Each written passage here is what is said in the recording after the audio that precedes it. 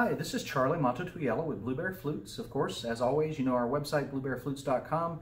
If you haven't yet, check us out on Instagram. Our Instagram, Blue Bear Flutes, is one of the coolest Instagram pages I've ever been to. It's because I don't go to any Instagram pages, but anyway, I'm just kidding. It's absolutely fantastic. I have looked at quite a bit of Instagram, but it's not really my thing, uh, except I love to look at our Instagram. And I know that sounds vain, but it's really just, I don't know. I like to look back on the flutes that we've made. We've made so many flutes. It's unfathomable. Yeah, that's a word. Anyway, so I wanted to share with you today some drone flutes. Drone flutes have become increasingly, uh, or is it are becoming increasingly, anyway, they have become quite popular amongst most everyone who is interested in Native American flutes because it gives you a harmony tone along with your flute tone. And who wouldn't want to have a good backup that played on demand? In other words, by yourself. anyway, uh, if you can trust yourself well enough to play backup uh, you can. Anyway, I'm just trying to elicit a smile here once in a while. But I wanted to share a bunch of these different drones with you so you know what it is that you're looking for. Maybe uh, those of you who haven't thought of getting a drone in the past were wondering which direction to head, or maybe you've just all of a sudden seen somebody's drone flute and decided you absolutely had to have one. Uh, so this is just to give you some ideas of what drone flutes are and what they can do and how you might want to choose your own.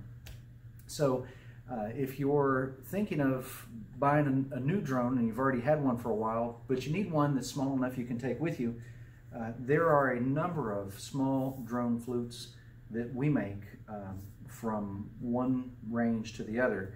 As a matter of fact, we used to make some quite small drone flutes that you can actually stick in your pocket. This little guy here is a key of high D. It's about, uh, shoot, maybe 10 inches long and it's small enough that it'll easily fit in my backpack. I've taken it with me all over the world, and uh, it's a really neat sounding little flute. You can play a lot of different stuff on it. So.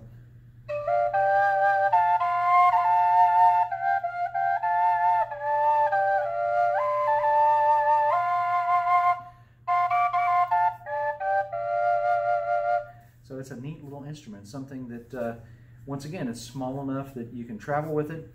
Um, as all of our drones these days, that the standard straight drones that we make, uh, it has a extra fingering in the back, so you have a few extra tonal notes that you can play on the drone chamber, which when you're playing backup with yourself, that's actually kind of a, a cool thing to do. Here is the next size up, which is a C uh, backpack drone. One of my absolute favorites that I do love to play, still small enough to fit in my backpack. Um, it doesn't take a whole lot of wind. That's something you've got to think about many people think that they want to play a really low tone flute, and that's fine. We make a lot of low tone flutes, and there are a lot of low tone flutes on the market out there. Uh, but then they start thinking they want to play a low tone drone because a drone with that extra accompaniment uh, actually has so much harmony and so much sound that carries and has such a beautiful tone to it as it is. Why not mix that with something that's low tone? Because most people attract to low tone flutes anyway. Um, so people think they want to play a low tone flute in a low tone drone. The low tone drone takes twice as much air as a low tone flute does. So think about that before you decide to. Little backpack drones don't take much air at all. They take twice as much air as a key of C flute would because you're playing two C flutes. So two mouthpieces, you can decide to play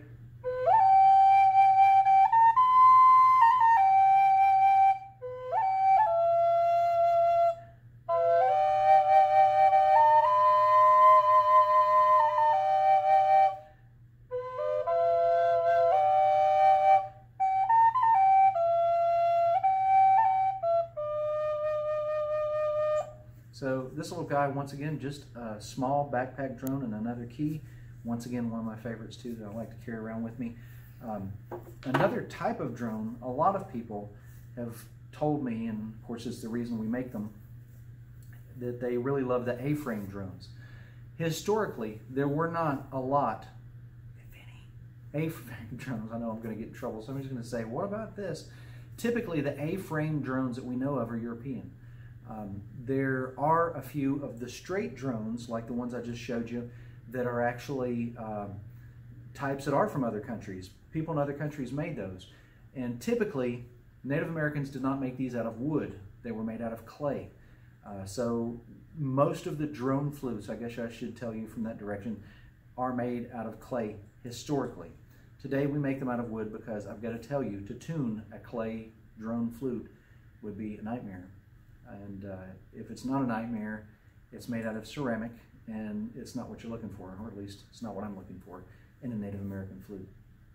So uh, the clay drone flutes were incredibly cool. Some of them I've shown you pictures of before that look like snakes. Uh, there's some that are just multiple chamber tubes. Uh, they even had uh, a lot of triple drone uh, clay drone flutes. That was kind of more the common thing, although the you know the single drone like this guy, the double double flute, was a typical um, clay drone flute that was made in Central America.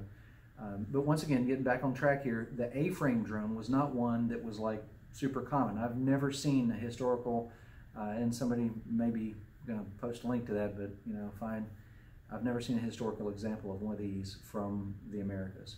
So having said that, making an A-frame drone is easy. You basically have two flutes and you put them together. You know, it's, it's simple enough. And that's the reason a lot of uh, flute makers are interested in making the A-frame drone because it doesn't take away from their normal stock. They've already got these flutes sitting on the shelf somewhere and they just smash them together and there's an A-frame drone. Um, having said that, there are some differences between playing this and playing one of our standard drones. With our standard drones, as I mentioned, you have an extra fingering in the back. That extra fingering gives you an extra tonal note on the drone chamber. Giving it the possibility of making three notes on the drone chamber, which you can get two out of most of our A-frame drones. So I'm just going to play the drone chamber. There's no notes to be played there, it's just a drone. But you can play, which is me blowing a little bit faster, making it jump octave on purpose, and you can use that in the music, which is kind of cool. Um, one of our good friends, uh, Cliff, been such a long time since I've seen him. I wish he was still watching our YouTube channel. I'm not sure where he's at in the world. Dude traveled a lot, played our drums all over the place, made some really cool videos. Um, but uh, he was an inspiration for me to decide to make these on a regular basis. And uh, after making so many of the River Cane drone flutes that we made, once again, very convenient, we decided to start putting them into the wooden version. And so we make them out of wood these days because people request them. And I still like to make sure that they do that little extra tunnel thing. So this is something you can do with it.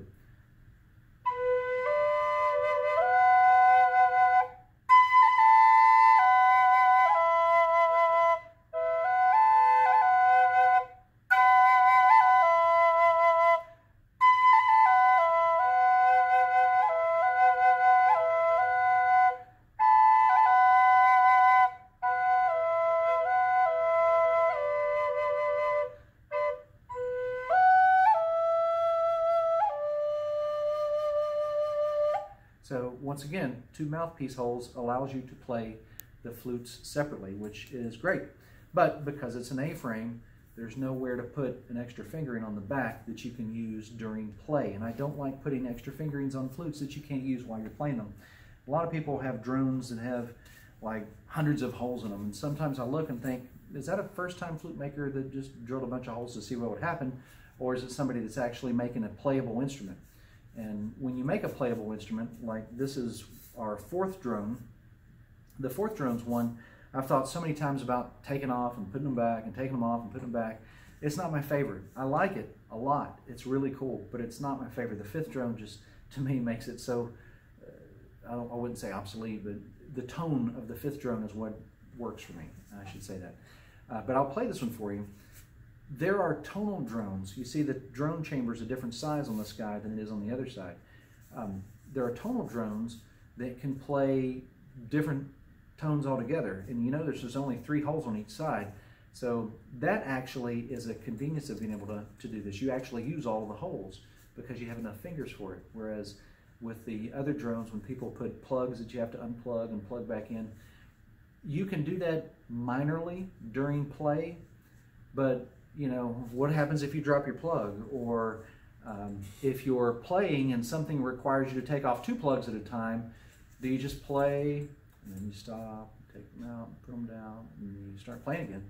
Or, you know, so it's, and I'm not asking, I'm just saying that, that for me, I like to make flutes that or work, you know, something that you can play. And that's the reason I put only the one thumb hole on our standard drum. This flute doesn't have any thumb holes for a number of reasons, but good reasons, I promise. But I'll play it for you. Once again, this is our fourth drone, which is one of our Aztec and Mayan temple drones, we call them. Basically a wood adaptation of old Central American Indian flutes that I've played. Um, and this fourth drone is a fourth harmony. So you've got two sets of, uh, we got two separate flutes here. One is a F sharp and one is a high B, and they are a fourth apart in tone. So that's why we call it a fourth drone. Um, I'll play it for you. There's one set of notes in here that are not, they're like side by side, they're A's and B's side by side. So you can play what some people would call a sour note. However, uh, in music, there are some sour notes that are not that sour. So you've got to, gosh, it's such a world out there. Just pull your hair out sometimes. But anyway, um, this is a fourth drone.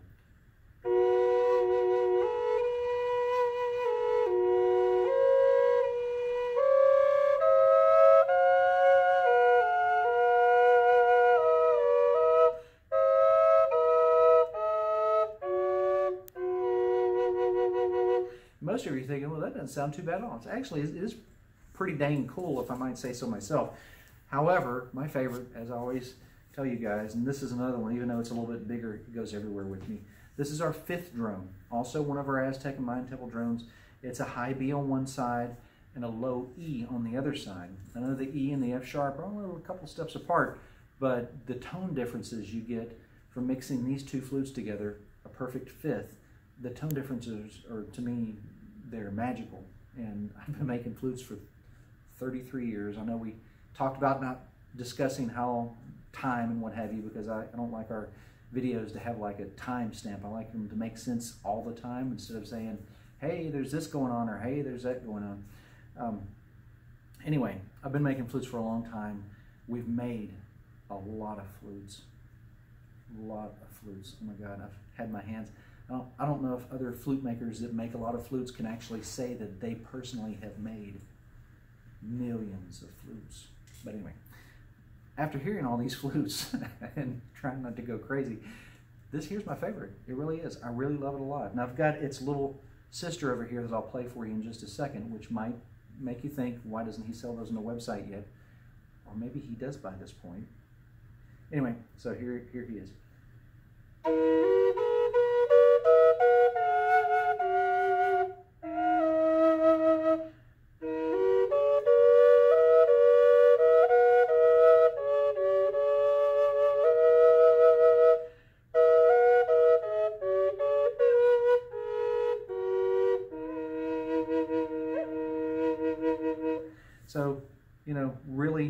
That's not enough of me playing this thing, but this isn't a video about the fifth drone.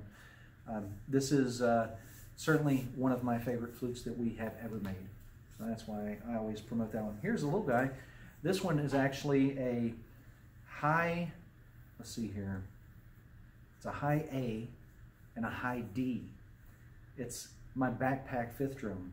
I may or may not carry it by the time you see this video. I don't know. It's been off and on. I've kind of decided to and not to and kicked myself for not and kicked myself for thinking I ever should offer them. But that's what it is. It's a small fifth drone that is very high in tone. Everybody doesn't like high tone flutes. High tone drones, maybe a little bit different. High tone fifth drone, I'm not sure because this high D is really high. But here she goes.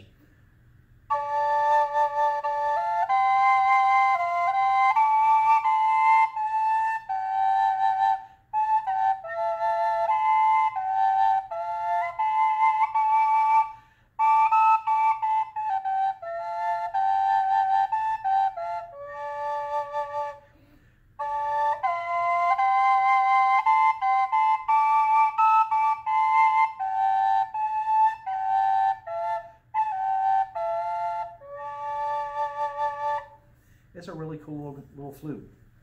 So once again, harmonic drones are drones that play different flutes at the same time rather than two of the same flute, which is this one, which I'll probably be using for some more demonstrations in the very near future. It's a flute that I made for my wife. The second we cut this piece of wood, I realized I had to give it to somebody as a gift because it was just too, too beautiful. And usually I give those to Jesse, my camera person, and my wife um, because anyway, I've been giving her flutes since day one. It's been a while.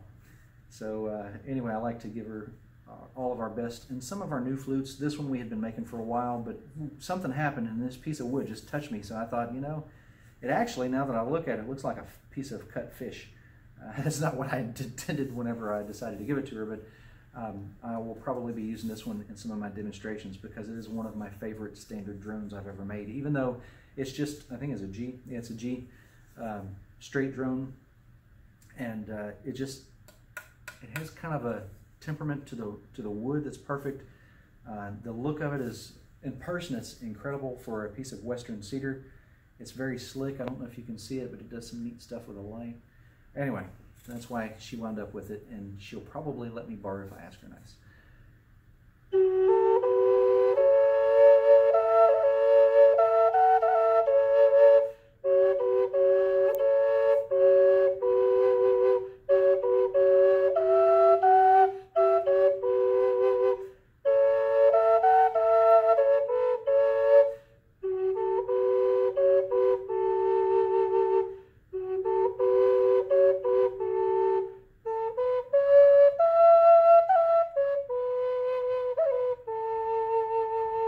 It's got a really neat tone to it and a really pretty, pretty piece of wood. So I'll keep that little G drone over there.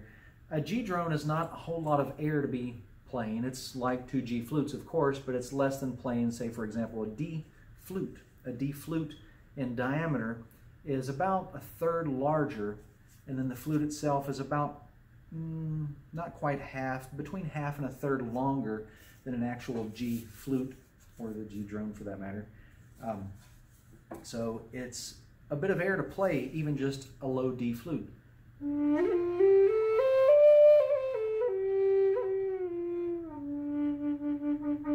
I'm going to struggle a little bit with this. And the reason I am is because working with my hands for so long, I've developed a little bit of uh, arthritic pain. Not, not so bad. I actually manage it better than probably most people. We do a lot of exercise, so I mean, that really helps inflammation to go away, believe it or not. Uh, but there's a hole in the back of this one. Most of the low E and low D drones that I ship like this with a hole in the back of them, I still put a plug in them. I don't offer a plug with these anymore unless someone emails me and tells me that they have arthritis. and I'm like, listen, no problem, I'll, I'll, put a plug in it. The plug so that you can take it out if you want to use it and put it back in if you don't want to use it. I mentioned that I don't believe in making flutes that are like that, and for that reason, I have debated over whether or not I should leave and put a hole in the back or not but it has to be in a location that not only lines up with the convenience of your thumb to be able to play it, but also it has to be at the right note and the right tone. So there's some difficulty for someone like myself who has medium-sized hands. I have like mid-sized hands, and uh, I don't have quite the finger stretch to do all that at once. Playing a D flute, no problem.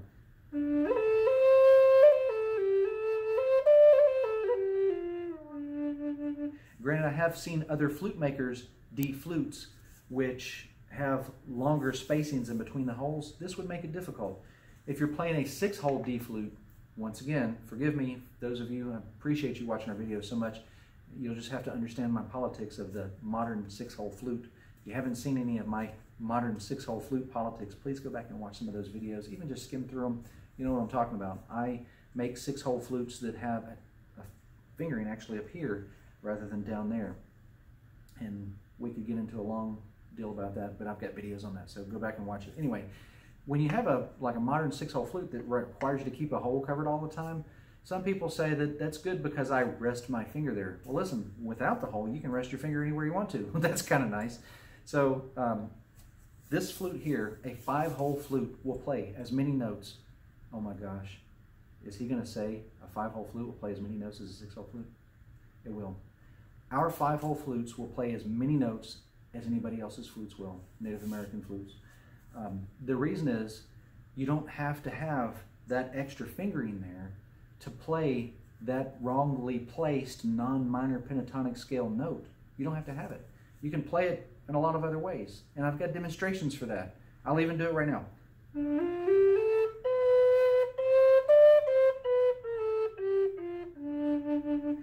Like playing that note. It's not in the scale. If I'm playing some kind of song that I need to play a chromatic note, I'll play a chromatic note. They're all over the flute. There's tons of chromatic notes here. You don't have to have that extra fingering. Anyway, it's kind of in a way, and when your hand wants to turn one way like this to play something that's so big, you don't really feel comfortable putting a finger there. So if you buy a low tone, a low D, a low E, even an F sharp drone from someone, there might be a stretch for you to put your finger right there. So keep that in mind. Um, maybe they tie a piece of leather on it. Of course, what's the purpose of having that hole? But on our flute, there's no there's no hole there, so you don't have to worry about it. You can still play the note if you feel the need to play it for whatever reason, but there's no hole there, so it's a lot more convenient. If you notice my little medium-sized hands, this is a low D drone. I could go on, couldn't I?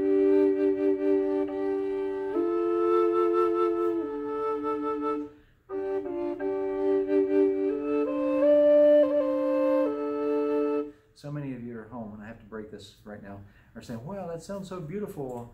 Couldn't you just make a video of you playing that drone? I probably have, but, you know, to be honest with you, the convenience of being able to play a drone, the amount of breath, there's a lot of important things going on there.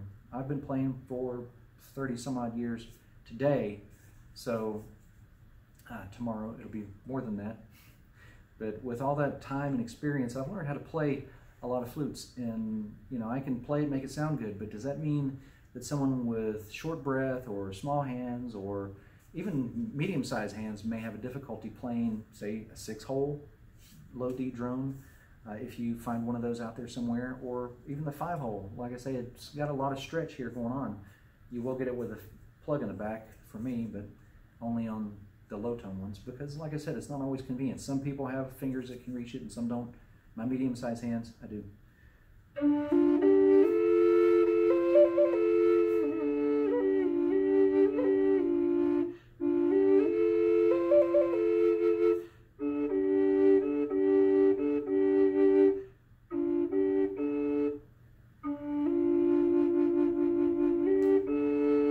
Okay, so not all of you want to buy one of these, but let me tell you, okay, this is going to lead into the next thing. So there's amount of breath it takes to play a large drum flute that you got to think about. There's also this right here to think about. Some flute makers that decide they want to make a drone flute make the mouthpiece really spread apart. This is a D, so a D is quite spread in my opinion. This one is about one inch. Usually I like to make them somewhere between, uh, for a standard drone, 3 eighths of an inch and maybe a half inch is a huge one, but this one's about one inch. What, what does that matter, right? You can put your mouth on it and play it. Obviously, I can. I don't know if I have a big mouth, but it sure sounds like it. okay, I got the camera person that time. She's laughing. So um, you've got to think about that, and this is why. When you open your mouth really wide to play a drone flute, or if you have a flute that has a tiny little mouthpiece, and I don't I don't make those, so I don't have anything to show you right now. But if it has a tiny little mouthpiece that goes in your mouth, that triggers a salivary reaction. You might hear me right now where I'm thirsty because I talk too much, okay? Uh, yes, I said it, I talk too much. But hopefully you're getting some out of this or you wouldn't be watching this long. But anyway, um, when you play a flute that either goes in your mouth or makes your mouth open wide, it triggers a salivary response, which makes your flute wet out faster. I have talked about this. Once again, we have videos on wetting out, something to think about. So therefore, I no longer offer and probably won't ever re-offer the triple drone. There's people that's made drones that are four and five drones and all kinds of drone chambers. There's um, some flutes like, uh, I think it's, trying to think. I think it's either Cambodian or Korean. Avat. Uh, sounds Korean. Anyway, um, which is not a drone. It's like a giant flute harmonica. It's really cool. It's on a little spindle, and you can blow while you twist it, and it changes the tone. So that's kind of cool. It's like a drone because you can spread your mouth like a harmonica and blow on more than one tube at the time. Or if you're really good with a pan flute, you can do that on a pan flute, but it they're larger, so you've got a little to think about. Um, but with this, you have three tone chambers.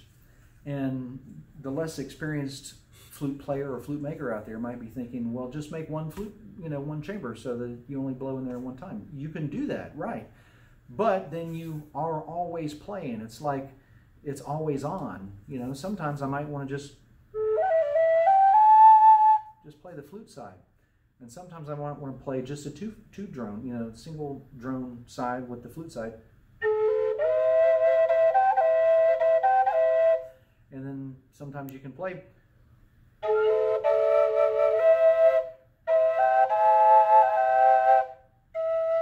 just playing that note all the time.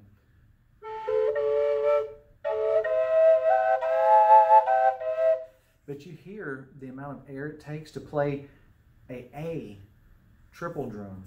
Sounds like it's more air than it takes to play actually a low D drone.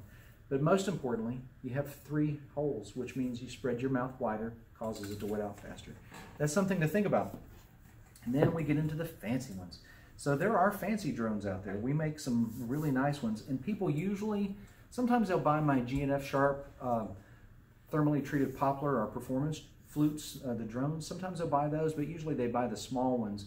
And I got to tell you, they sound crazy, super incredible. Hopefully crazy is still a positive thing at the time you get to watch this video.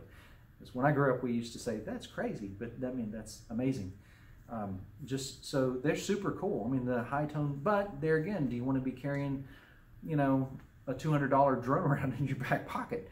I personally would rather carry like a $100 drone. And once again, money is kind of dating this. And so, you know, you might think, well, where am I going to get a $100 drone these days, you know? But uh, of course, that's what I'm thinking in the future when I'm actually older. I'm sorry, I just time, time looped on you guys.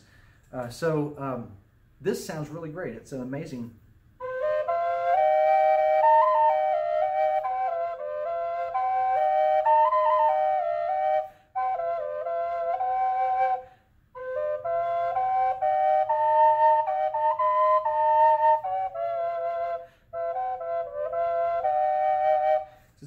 amazing sounding little flute and it's really, really great. I mean, so if you wanted the cream of the crop, um, you can get a high C or a high D backpack drone in the, our performance flutes.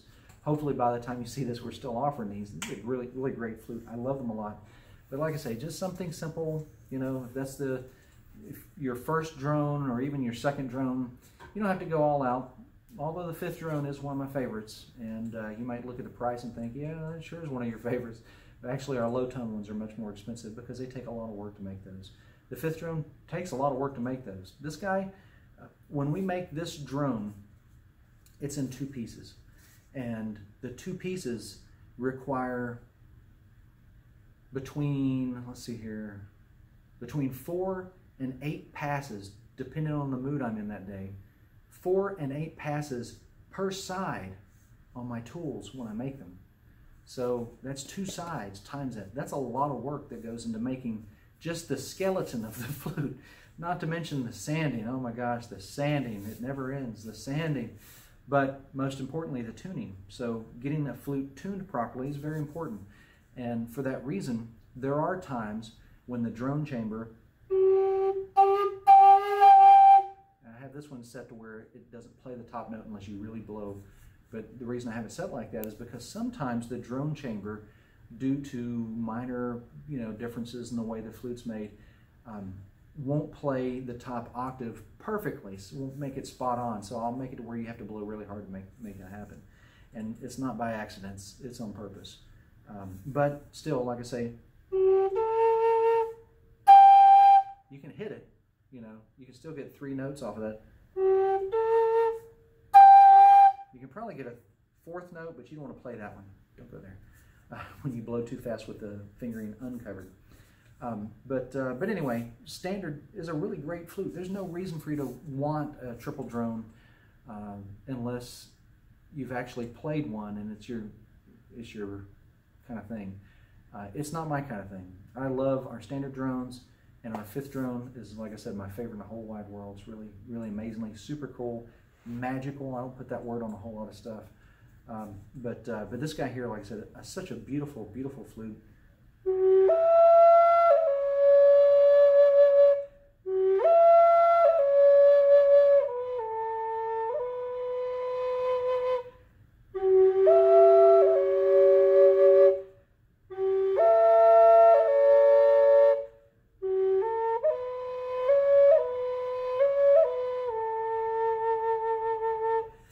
Once again, I could play this guy all the time. So I hope this has helped you guys answer your questions. I think I covered about everything, everything from people with drones that have fingerings you have to unplug and plug back all the time to make them play those extra notes. Uh, the A-frame drone, which I personally have not historically found a version of that in the Native Americas. Um, it may have happened at some point in time. There may be one that's even made out of clay, but historically, most of the ones I've seen uh, from Central America, um, from Mexico, uh, most of those, and most of them are from Mexico. They're really just amazing looking. They do some amazing things. Making them out of wood gives me the opportunity to tune them amazingly, and that's what I like. Um, and the uh, small drones are really great for their convenience. Uh, if you don't mind the high tone, two high tone flutes playing at the same time and you have control over that, that's not really so bad if you're not fond of high tones. Um, playing a high tone drone is actually pretty, pretty nice. And then the low tone drones, uh, conveniences, you know, you might not have a backpack big enough to fit a G in, but you probably would a high C or high B, and maybe even an A, which is one of our standard first drone we ever offered was an A, and we make lots of those today. People still buy lots of A drones. Uh, but anyway, I hope this has helped you guys make your decision on what you're looking for. You might decide you don't want a drone. I mean, it's all cool. Everybody's got their own uh, ideas, and you might decide that you just want to play standard old flute, which I love to death. It's been my life. It's how I met my wife, and all of my kids have played them since before they could walk, which is really amazing. So I hope you guys are doing well. I hope you find this video very helpful. If this is the first time you've ever seen us, we have hundreds of videos on making flutes. Uh, the day that we made this video, we still sell them.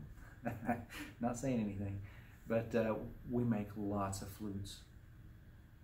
Lots of flutes. Anyway, I hope you guys are doing well. Find us on our website, bluebearflutes.com. If you have any questions or positive comments, feel free to shoot them down in the comments below. We love to see those. And Mr. Thumbs Down, we miss you. I hope you're doing well, buddy. Take care. If you feel like changing your mind, maybe a thumbs up here and there might be okay. Maybe hit that bell icon like Mr. Thumbs Down does because he never misses a click every time we put out a video. He's like, uh-uh, but uh, it's okay. We love him. You guys take care. Happy flute playing. Happy flute making for those of you brave enough. And uh, be careful if you are. Make sure you wear your safety goggles. Watch your fingers. Don't use big, heavy tools. Don't do that. Just be safe. Take care. Charlie Mato-Toyela signing out for Blue Bear Flutes and BlueBearFlutes.com and Blue Bear Flutes on Instagram, Facebook, and every other social media platform I can find time to put on. Y'all take care. See you soon. うん。